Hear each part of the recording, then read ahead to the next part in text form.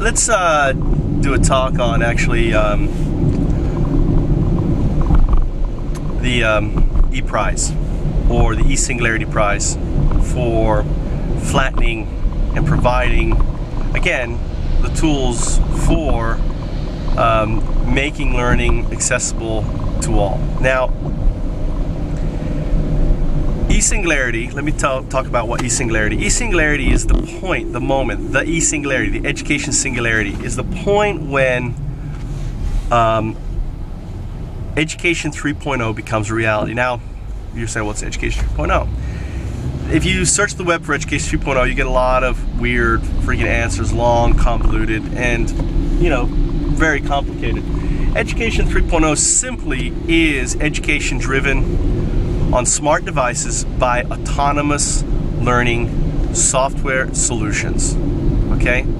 Education 3.0 basically is this it removes the need of schools and what we think of traditional teachers, what I call sage on the stage, um, as the, the, the vehicle for learning. And in its place, takes the teacher, but in a video format, um, use augmented reality, uses various different technologies, and autonomously, and autonomously basically is a fancy word for AI, right?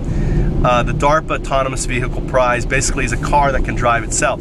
So an, an, autonomous learning solution basically is a learning solution that drives itself. You don't need a teacher behind it. And what it does is it monitors the participant and basically drives and pushes the correct and the appropriate educational content to that end user using a combination of incentives and games in order to keep the learner coming back for more and prizes and so on. So, uh, ALS or Autonomous Learning Solutions is the future of education. Now, you've got to think. Now, I've been, you know, I've been thinking about this since 2001, and I founded Eduit.org in 2001. Um, as a way to provide, you know, as a way to explore and develop this. And, you know, again, back in 2001, what I'm describing to you right now was, was, was, was heard as heresy. And even up to like three years ago, and, you know, actually four years, three years ago, people laughed at it. However, today, my idea of autonomous learning solutions, uh, education being driven by AI, is now being seriously considered. And in case in point, you know, I have managed the E3O group, Education 3.0 group on LinkedIn with over, it has close to 400 members now. All of them very substantial individuals, leaders within the education and, and software community.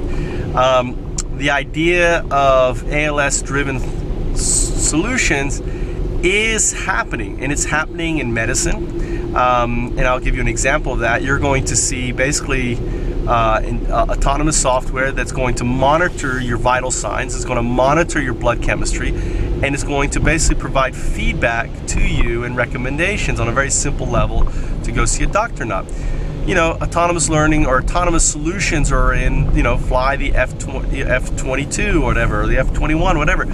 All the, the, new supersonic airplanes have basically AI driving and taking over most of the functionality, all right?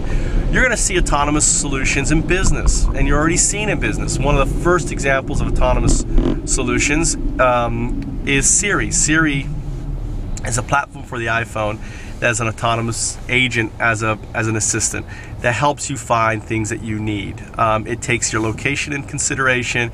Um, you know, um, and it searches. Now, it's very rudimentary, and ultimately, there's a lot more to that platform that could be released. Um, you know, you're seeing things like um, Netflix and Pandora and all these things that are basically monitoring, gaining information or metadata on your, your habits. As as software understands you better, right? Um, and has that data to apply, and autonomous learning software is no different, then ultimately it can deliver and direct the appropriate learning material to you. I'll give you another example. This is something that I actually shared with Siri, and maybe I think this is the reason why Apple bought Siri. And I wrote to the CEO or one of the founders of Siri and told him this. I said, you know what? you know, Apple has now over 50,000 education apps, but they're useless. I can't find it. I don't know how to, you know, get to them or whatever. I don't know what are good or not. The search mechanism for, you know, for these apps is just useless. Siri would be an invaluable tool as an app finder. Okay, number one, you know, it could learn my habits of what kind of apps that I like to basically use and play, how often, and ultimately go out and find those apps that are similar to those apps by user ratings and everything else. In a way, it becomes a Netflix for finding those, you know, uh, apps. And I could even set up, say, please send me recommendations once a day, once a week, whatever. Um, also, Siri, even more importantly, could be actually become the first uh, very rudimentary autonomous learning solution. Very rudimentary. And this is how it would work on the iPhone and other, or, the, or it could be work on the Android.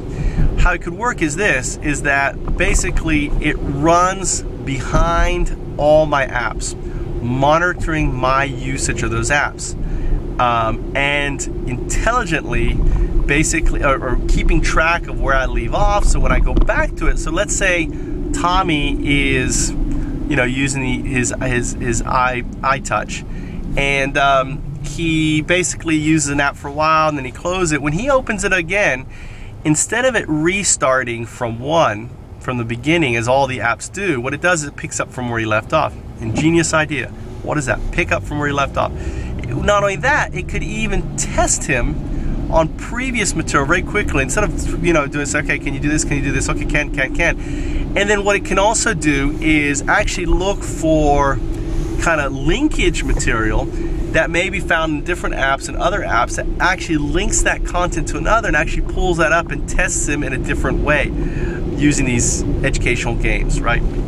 So Siri potentially could do this. This isn't. This takes some, you know, some software writing, um, you know, writing the app. I mean, it's it's rather in depth. Is it impossible? Definitely not.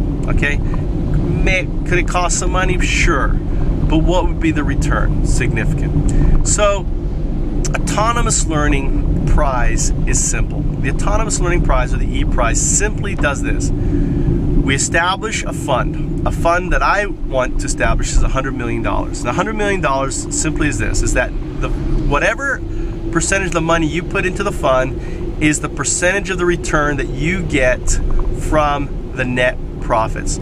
So if it's $100 million, you put a million dollars in, you basically get 1% of the net profits from all technologies that are that are um, that are basically derived, modified, um, and uh, put out there that actually create. And, and really, my vision is this: I think basically K through you know K through 20, or maybe not even K through 20, but let's say K through 8 education right now should be free and accessible to all. Everyone should be able to read. Everyone should have a basic science, math, science, language arts. Um, everyone should be able to learn English, learn different languages. Should have those. You know, we should provide that for free on smart devices.